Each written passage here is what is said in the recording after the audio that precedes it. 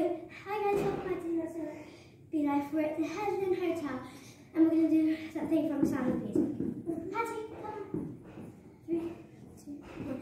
There's a sad sort of clanging from the clock in the hall and a bell hastily all two and up. In the nursery an absurd little bird